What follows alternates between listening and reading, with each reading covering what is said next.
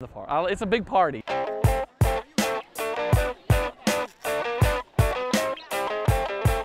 The, the crowds have gotten bigger and, and they just, just, I think it's word spread and it's like, don't miss the Gurney Derby next year at homecoming.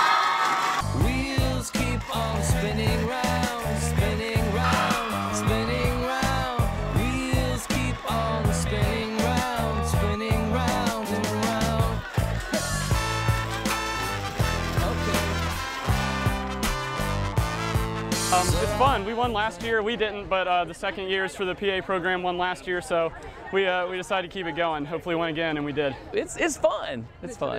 With